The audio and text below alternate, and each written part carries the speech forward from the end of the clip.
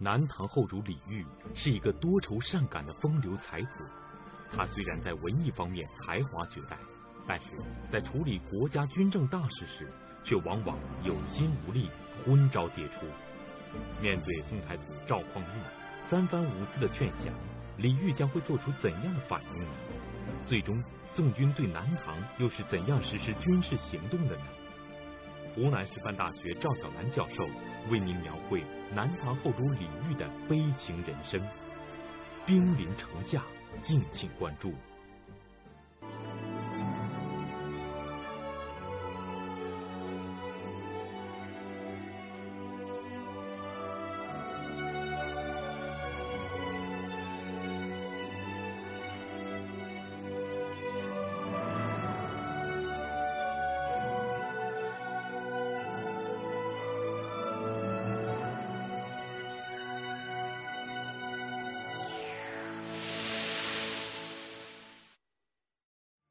在上期节目中，赵小兰教授讲到，在南唐内外交困的危急关头，李煜却中了赵匡胤的反间计，自毁长城，杀了对他忠心耿耿的将领林仁兆和大臣潘佑、李平，酿成了无法挽回的过错。走到这一步，一直对李煜这块自留地虎视眈眈的赵匡胤，认为吞并南唐的时机终于成熟了。那么？赵匡胤的军事行动是如何开始的？面对软硬兼施又咄咄逼人的赵匡胤，李煜又将怎样来应对呢？湖南师范大学赵小兰教授做客百家讲坛，描绘南唐后主李煜的悲情人生。系列节目《李煜》第七集《兵临城下》正在播出。其实一开始，赵匡胤。并不想通过战争来达到目的。尽管宋朝在军事实力上占绝对优势，但毕竟战争的消耗太大，所以他最初的策略呢，是在加强军事威胁的同时啊，搞和平演变，希望这个李煜啊自觉点、识相一点，把这个土地呢自动的交给他的大宋王朝。当时的南方。就剩下南唐的李煜和吴越的钱俶这两个土皇帝了。赵匡胤叫人在汴京城里修了一座规模宏大的豪宅，并且特意设计成江南园林式的风格，山水楼台奇花异石，那是应有尽有，美轮美奂。据赵匡胤自己的说法，那是规模华壮，不减江浙。就是华丽壮观的程度啊，跟南唐和吴越的皇宫呢差不多。赵匡胤把这所宅子命名为礼贤宅，并且放出风去说：李煜和钱俶谁先来京城给我磕头，我就把这个宅子呢赏给谁住。李煜当然知道赵匡胤这个礼贤的葫芦里啊。卖的是什么药？礼贤就是尊重贤人，也就是品德高尚或者才能突出的人。赵匡胤的意思是说呢，识时务者为俊杰。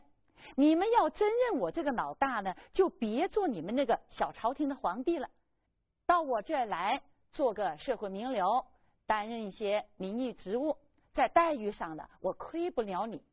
说白了，就是叫李煜和钱俶呢自动投降。那么，一向对赵匡胤屈服示弱的李煜，面对这种投降的暗示，他的反应是什么呢？他的反应呀，很有些出人意外，可以说相当的不给领导面子。根据史书记载，赵匡胤曾经前后三次。或明或暗的让李煜呢北上来当这个闲人。第一次他打的是亲情牌，就让留在汴京的从善给李煜写信，让他表现积极点，赶快来北方呢做这个李贤宅的主人。不料李煜呀，他接到从善的信以后，居然另当这个觉悟不高的落后分子，也不肯。亲自到领导这里来表示表示。赵匡胤一看，哟，李煜这小子架子还不小啊，这亲情牌还不起作用啊，那就公事公办，派使者去请吧。于是第二次呢，就派了宋朝一个负责礼仪的武官河门使梁炯到南唐去请。这梁炯到了南唐以后，先是客客气气的对李煜提建议说：“天子今冬行材料礼，国主以往助祭。”意思就是说，天子赵匡胤今年冬天要举行烧柴祭天的活动，按照礼节，你这个。下属呢，应该去陪同撑撑场面。他虽然没有明说是赵匡胤的意思，但李煜心里呢，他是心知肚明。他的一态度呢，就是装傻。既然你没有明说是领导的意思，那我就假装不知道啊，来一个不答，就不说去，也不说不去，哼哼哈哈的一番这个了事。这梁炯呢？立功心切，他见软的不行，就想来硬的。据说啊，他跟手下呢商量了这么一个办法：临走的那天，如果李煜到船上来送上级的代表的话呢，就把李煜挟持作为人质，开船就跑。可他这个绑票计划呀，不知怎么的走漏了风声。到最后呢，李煜没有到船上来送上级的代表，总算是躲过了一劫。宋太祖赵匡胤雄心勃勃，要消灭当时中国的割据政权，完成他的统一大业。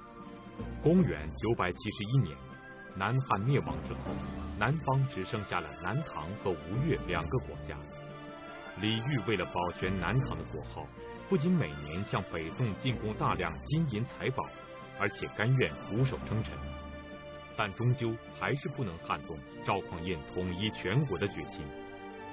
面对赵匡胤的不依不饶，李煜心里知道他是在劫难逃。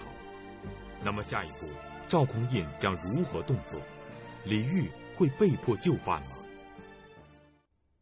可是李煜躲过了初一，却躲不过十五。不久，北方的使者又来了。这一次来的是赵匡胤的秘书长知制告李牧，并且带来了赵匡胤的明确指示。本领导今年冬天在某地有重要活动，希望你能来参加。你一定要来，别辜负了我的一番好意。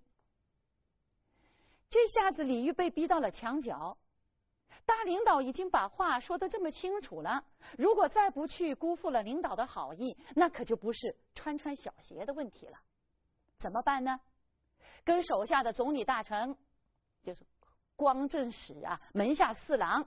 陈桥等几个管事的人一商量呢，都认为千万去不得，一去不就是成了肉包子打狗吗？肯定回不来了。南唐的江山也会跟着玩完，没法向祖宗交代呀。而李煜天性纯孝，对父亲的感情本来就很深，再加上他的耳朵根也软，听陈桥他们几个人一说，就觉得。领导虽然可怕，但要对不住祖宗，那就是可耻了。所以呢，他就下定决心继续挺下去。他先是对李牧说自己有病去不了，最后看看躲不过呀，伸头是一刀，缩头也是一刀，干脆心一横了，亮出底牌，说我一向对领导啊恭恭敬敬，就是为了保全祖宗给我留的这块土地。没想到今天被你们逼到这步田地，那我只有以死相拼了。可李煜并不知道，这一回赵匡胤已经做好他要拼命的打算了。就在李牧来南唐的同时，北宋的军队也调动起来，准备进攻这个南唐。所以李牧一见这个李煜发了飙，仍然是不慌不忙的说。见不见天子的事呢？你自己看着办吧。不过我们大宋的军事实力呀，可不是你们江南能对付得了的。所以我劝你还是好好的考虑一下后果，可不要到时候吃后悔药啊。前面我们说过，李煜对于危险的嗅觉还是相当敏锐的。现在他见李牧把话说到这份上，知道战争已经是不可避免的了。于是，在李牧走了以后呢，他一面就派人到北宋去跟赵匡胤呢求情，一面呢就下令修理城防工事，准备战斗。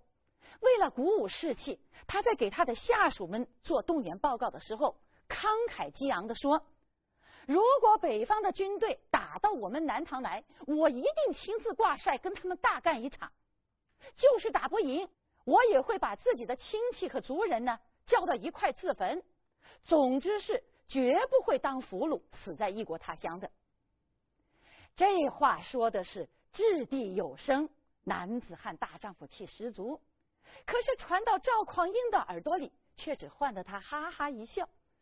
赵匡胤说：“此错大而已耳，徒有其口，必无其志。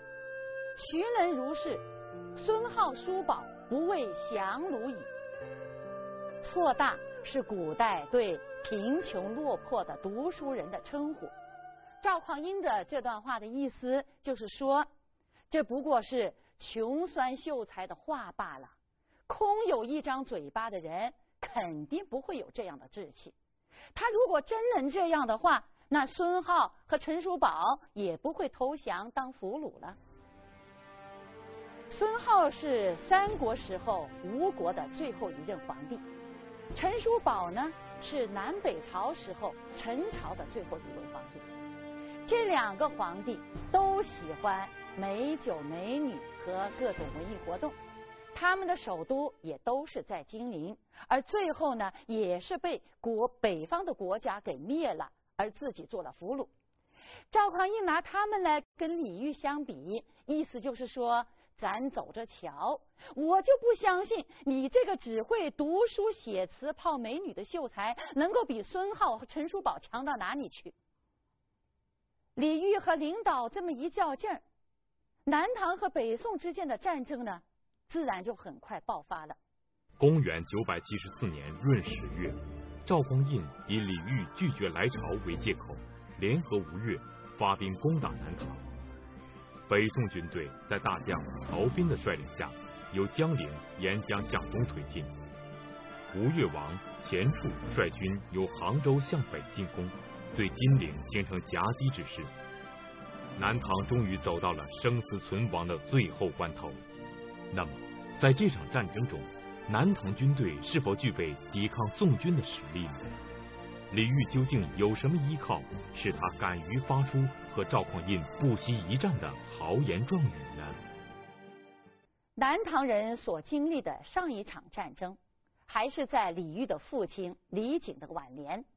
到北宋军队南伐已经有将近二十年的时间了，所以尽管李煜对赵匡胤要攻打南唐已经有了一些思想准备，并且还做了一些动员和战备工作，可是习惯了和平生活的南唐军队呀，就像一架老爷车，一时半会儿还发动不起来。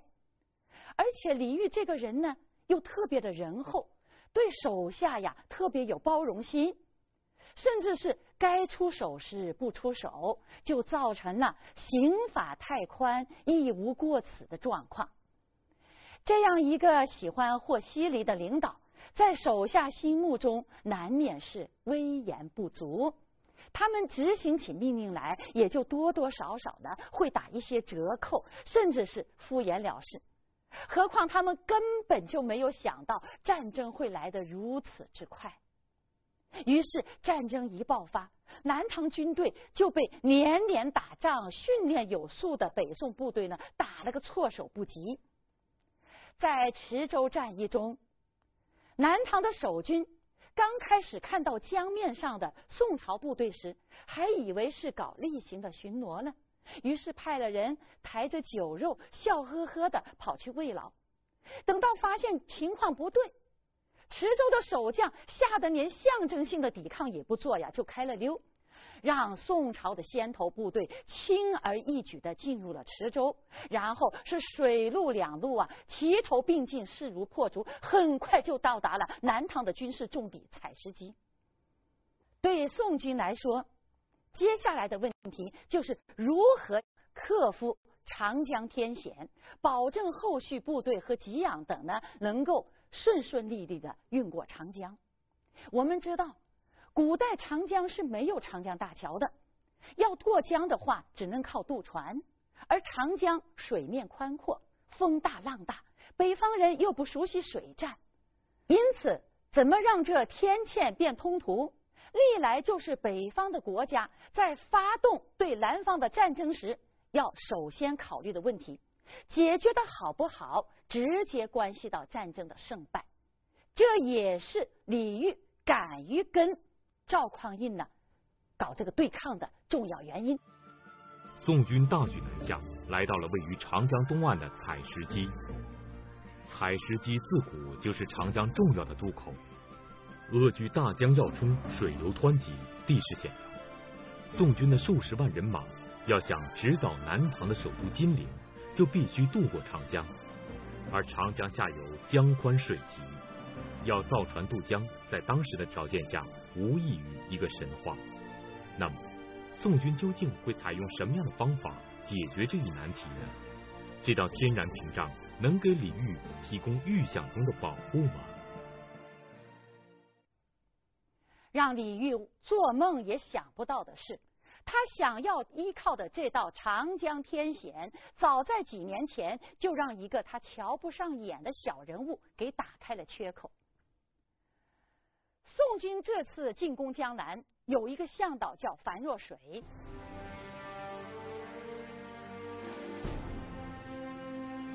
这樊若水本来也是江南人，他的父亲在池州的一个小县当县长。这位县太爷的公子啊，为人是心高气傲，不满足只在小地方呢翘翘尾巴，于是就到金陵来考进士，想靠自己的力量弄个官当，好光宗耀祖。没想到自信满满的他，却被考官毫不留情的刷了下来。这樊若水不服气呀，就直接给李煜写报告，提了很多合理化建议，想借此得到赏识呢，平步青云。可那个时候，李煜正一门心思的烧香拜佛，把国家的全部希望都寄托在佛祖身上，哪里还会理睬一个连公务员都不是的人的这个意见呢？因此也没有搭理他。这樊若水一气之下，心想：此处不留爷，自有留爷处。你李煜看不上我，北边还有一个比你更大的领导呢，我投奔他去挖你的墙角，让你知道我的厉害。于是他就琢磨起怎么样到北方去，并且引起这个北方领导的注意。他想来想去呀，觉得要引起赵匡胤的注意，只有送一份大礼。那么，什么是北方大领导最喜欢的礼物呢？自然就是李煜的这块自留地了。那好，我就从这里下手，帮宋朝部队解决怎么样过长江的这个难题。于是他就到了离金陵只有八十多公里的军事重地采石矶，在那里当起了侦察兵。关于他是在那里怎么样进行侦察的，历史上有不少说法。《宋史本传》说他在那里做了一个钓鱼翁，而陆游的《入蜀记》呢，则说他混进那里的寺庙啊，做了一个和尚。总之，他是在那个军事要塞呀，弄到了一张合法的暂住证。可以天天在江边呢转悠，于是，在晚上，他就把一团丝绳的一端系在南岸，然后驾着船呢，带着绳子呢，扯到北岸，用这个方法来测量江面的宽狭程度。经过几十个来回，情报搜集的差不多了，于是他就溜到北宋，向赵匡胤献上了这份大礼，建议说在采石矶造浮桥渡江。果然。赵匡胤对他的这份大礼是高兴的眉开眼笑，说：“行，李煜不给你当公仆施展才华的机会，本领导给。”于是呢，就叫手下的书呆子呢去考一考这个樊若水，看他水平究竟如何。这樊若水的考试成绩呢，估计是不太理想，因为宋史上说他学浅，就是学问浅薄。证据是有一次赵匡胤跟樊若水谈话，问他为什么要取若水这个名字呀？樊若水就回答说，唐朝有个大臣叫黎若水，为人刚直，我很仰慕他，所以给自己呢也取了这个名字。他这话一说出来，人皆笑之，大家都笑了。原来唐朝的那个大臣叫黎若冰，古代这个“冰”字就是在“水”字的左上角加上了一点儿，看上去非常相似。这樊若水读书大约是属于一目十行的那种，把那一点给忽略了，于是呢，若冰就成了若水，在领导面前闹了一个大笑话。赵匡胤虽然读的书不多，可平时大约。也听手下的大臣提起过这个黎若冰，知道是樊若水搞错了。不过他很懂得保护这个心气很高的人的自尊心，他不但没有揭穿他，反而笑呵呵的对他说：“看来你知道不少古人的诗啊，不错不错，我给你改个名字，就叫知古吧。”于是樊若水就成了樊之古。尽管。这个樊若水或者叫樊之古，他的学问根底不够扎实。可是，在等级森严的封建社会里，一个人的考试成绩再不好，可只要领导拍了板，一切问题都不是问题。于是，樊若水呢，最终还是被赐及第，也就是说被录取了，并且很快就安排了职务，专门负责搜集南唐的军事机密，参与攻打南唐的准备工作。而他的浮桥渡江的建议也得到了高度重视。宋朝开始在湖南一带的水域中大量建造做浮桥用的船只。等宋朝的先头部队攻下采石矶之后，这里的造船工作也已经完成，并且在石牌口，就是今天的安徽怀宁，还举行了一次模拟面演习。随着赵匡胤一声令下，几百艘战船。浩浩荡荡，顺流而下，迅速抵达了采石矶。从长江的北岸一直铺到南岸，船上再用铁链和绳索一绑，铺上厚实的木板，只三天功夫，宽阔的长江江面上就出现了一条自古以来从来没有过的巨型浮桥。公元九百七十四年闰十月。采石矶江面上出现了一条巨龙，横跨大江南北。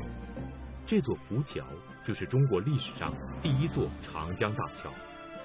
数十万北宋大军如履平地般的从长江北岸滚滚而来。那么，面对闻所未闻的浮桥渡江事件，李煜和他的大臣们又会作何反应呢？让人哭笑不得的是。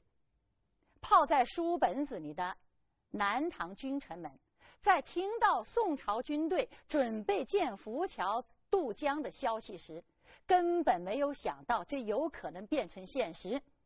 李煜跟他手下最宠信的大臣张继谈起这个事情时，张继说：“陛下，我敢保证，这一定是假新闻。我读了这么多书，还从来没有哪本书上记载有用浮桥过长江的事呢。”这消息一定不是真的，即算是真的，他也一定不能成功。李煜一听就放心了，说：“哈哈，我也说吗？这个事情啊，就像小孩子过家家，是当不得真的。然而，现实是残酷的。就在李煜和他的书呆子大臣们还在把浮桥渡江当做一个天真的童话的时候。”宋朝的兵马粮草已经沿着这座开创了历史的大浮桥，源源不断的运过了长江。当李煜接到这个消息，顿时慌了手脚，马上调动部队，想从水陆两路呢来进攻在采石矶的这个宋军，想要摧毁这个浮桥。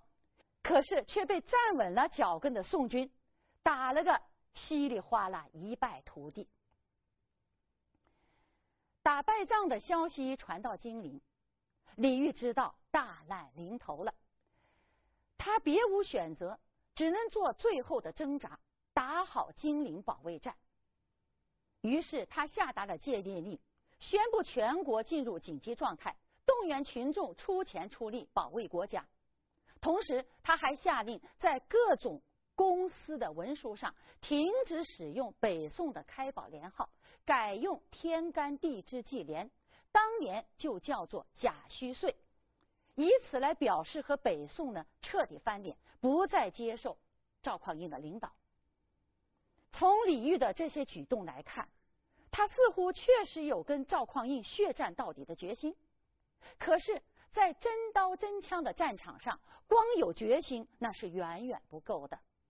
在赵匡胤这头真正的大老虎面前，李煜就像一只柔弱的猫，双方的实力相差太悬殊了。何况在这个时候，李煜他又犯了用人方面的错误。导致局面迅速的恶化起来。有关李煜和他统治的南唐的悲剧结局，后世评论有多种说法，其中不乏对后主李煜的同情。有观点认为，李煜的父辈祖辈给他留下的是一个烂摊子，让不安政治权术的李煜来收拾，确实是勉为其难。那么，当赵匡胤发动的这场想要灭亡南唐的战争终于来临时，李煜在用人上究竟又犯下了什么样的错误，继而导致了什么样的严重后果呢？李煜在战争爆发后，组织了一个军事委员会，其中掌握兵权的叫皇甫纪勋，军师是程桥和张继，另外还设了一个内殿传诏的职位，由南唐国防部和人事部的一些高级官员担任。负责上传下达、指挥协调，这些人全部都是他的亲信，个个都在他面前宣誓效忠。张继和程桥还给李煜出主意说：北宋的军队虽然厉害，咱们主动进攻打不过，但是如果我们采取坚壁清野的方法，坚守不出，跟他们打持久战，一定可以耗垮他们。李煜是个耳朵根很软的人。而且对行军打仗这一套呢，外行的很，根本估量不到战场的形势，也想不出什么具体的措施去应付这些局面。现在有手下把这烫手的山芋给接了过去，他也乐得个清闲自在。于是就说：“行啊，那打仗的事情就交给你们了。”他自己呢，一头躲进后花园里，忙他喜欢干也擅长干的文化事业去了。每天跟和尚道士谈谈佛理，讲讲易经，在因果报应、否极泰来这些玄玄虚虚的道理中寻求安慰。他对战场情况的了解呀，几乎全靠他这个传话的亲信。然而，就在他的这些亲信里面，已经有人动了投降的心思。这个人就是掌兵权的皇甫季勋。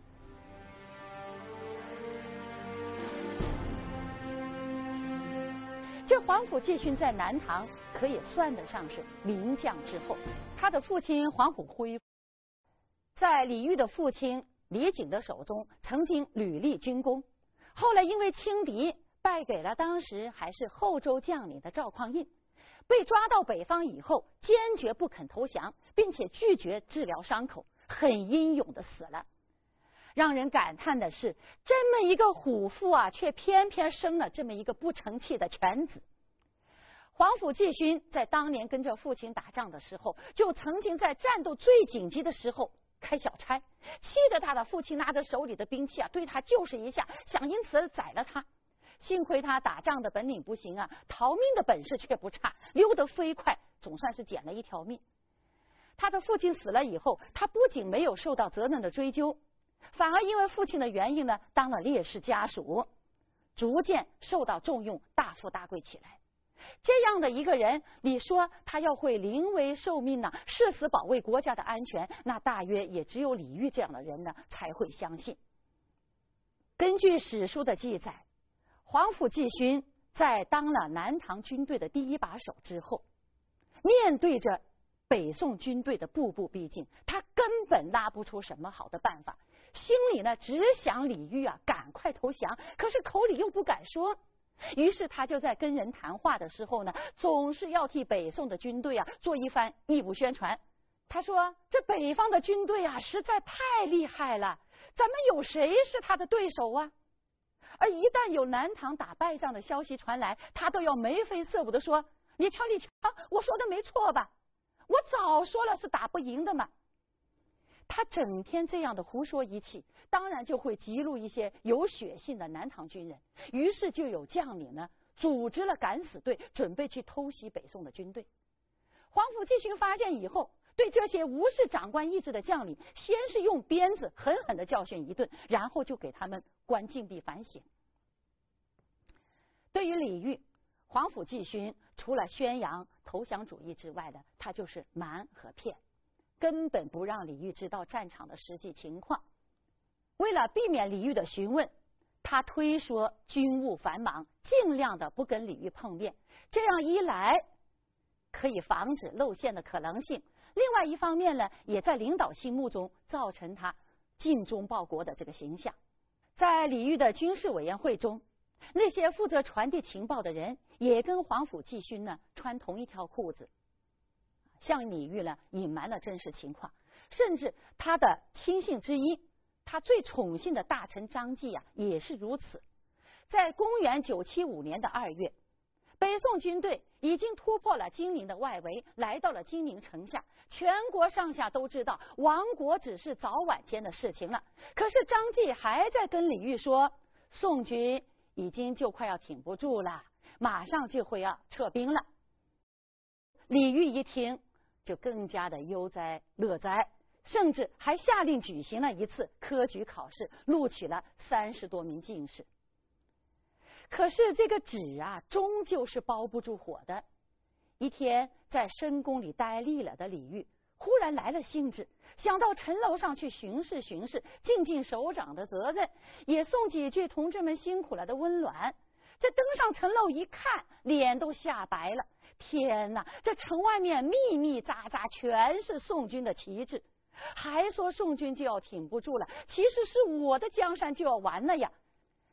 想不到我被自己所信任的人骗了这么久。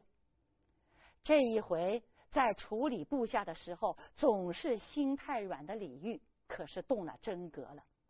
可是他还是舍不得向假话连篇的张继下手，而是把气全撒到了黄埔继勋头上。回宫以后，他马上派人叫把黄埔继勋呢叫来，手一挥说：“给我绑了，推出去杀。”可怜这个黄甫继勋呢，连杀头的待遇都没有享受得到。据说他刚被推出宫门，那些恨他入骨的军士们就蜂拥而上，你一刀我一刀，我一刀的把他给碎割了。杀了皇甫继勋之后呢，李煜开始亲自处理军政大事。可是这位一贯文采风流、从来没有见识过战争的帝王，他又能有什么好的办法呢？鲁迅先生曾经说过，一个人最大的痛苦啊，就是梦醒了无路可走。而李煜现在就处于这样的痛苦之中，他在手下人灌的迷魂汤中清醒过来，却发现自己已经处在别人的包围圈里，是真正的无路可走了。北宋的军队已经兵临城下，南唐的首都金陵岌岌可危。作为君主，李煜却又束手无策。此时，李煜所承受的恐惧与痛苦，从他所写的词中可见一斑。有历史研究者认为，此时李煜的词已经暗藏着亡国之音，预示着南唐将遭遇灭顶之灾。那么，对于后主李煜流传至今的那些哀怨词章，我们又可以做怎样的品味和解读呢？在马上就要亡国的危险之前，他那支写起词来就像行云流水的笔也禁不住颤抖起来。据说他曾经潦潦草草的写了这么一首词：“樱桃落尽春归去，蝶翻金粉双飞。子规啼月小楼西，画帘珠箔。”惆怅卷惊离，门巷寂寥人去后，望残烟草低迷。炉香闲了凤凰离，空持罗带回首恨依依。这首词给我们呈现的是一幅晚春的画面。红色的樱桃花落尽了，春天又谢幕了。蝴蝶翻动着金色的翅膀，成双成对的飞着。月亮升起，小楼的西边，杜鹃鸟凄切的叫声也响起来了。是在挽留春天，还是在呼唤某个人的归来呢？小楼里有个美女卷起了用珍珠织成的、绘着精美图案的窗帘，满怀惆怅的向远方望着。这首词的下半首前面两句告诉我们，像这样的眺望已经不是一回两回了。自从某个人离去之后，这里的门庭和巷子就显得格外的寂寞，而对他的眺望也就开始了，并且每次一望都是老半天，一直望到天都要黑下来了。远处草色如烟，一片凄迷。屋子里香炉中的香烟，仿佛也在同情这位孤单的美女，轻柔的缭绕着绣花背上双双对对的凤凰。看不到那个人影子的出现，这个美女捏着美丽的衣带，失望的转过身来，一副怨恨而又依依不舍的神情。我们原来说过，词在古代就是流行歌曲的歌词。跟现代的流行歌曲差不多，经常拿美女说事儿，最喜欢写男女爱情。这首词呢，表面上也是这样。但是李煜这个人就跟我们熟悉的贾宝玉一样，多愁善感，有一点女性化的气质。所以这首词中这个美女的思想感情呢，也可以看作是李煜啊，眼看着国家大势已去，虽然千舍不得万舍不得，但终究没有力量去挽救的这个心情。所以后来苏轼的弟弟苏辙，他就说这首词凄凉怨慕，真亡国之音也。在这段时间里，李煜所作的亡国之音还不止这首词。据《雁门野记》记载，他还曾制作了一首乐曲，叫《恋家山破》。过我们原来讲过是一个音乐名词，在这里本来的意思呢是表示这首曲子的节奏呢很急促。但当时也有人说，这支曲子的名字从字面上来看呢，是想起国家江山灭亡的意思，不吉利的很，是亡国的一个预言。不过这些话呢，也许只能算是事后诸葛亮了。在当时的南唐，随着春天的过去，夏天的到来，其实是出现了一线生机的。